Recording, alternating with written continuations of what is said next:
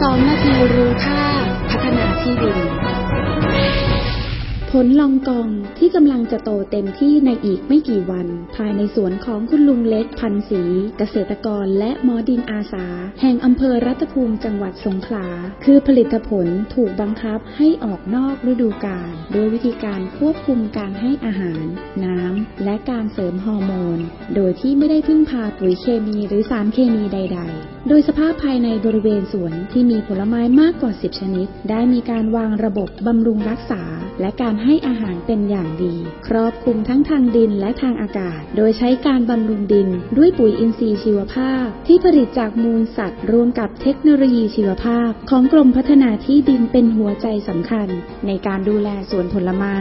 ให้มีคุณภาพและปลอดสารพิษให้ออกนอกดูกาลก็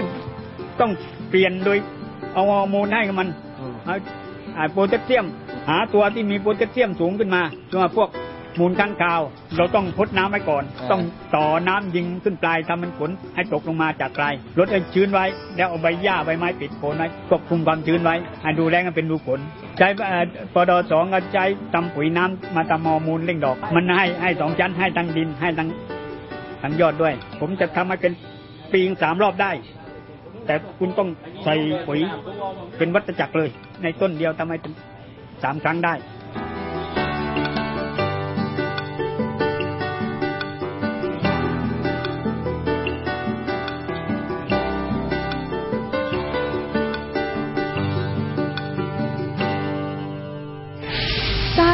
มเกษตรปลอดภัย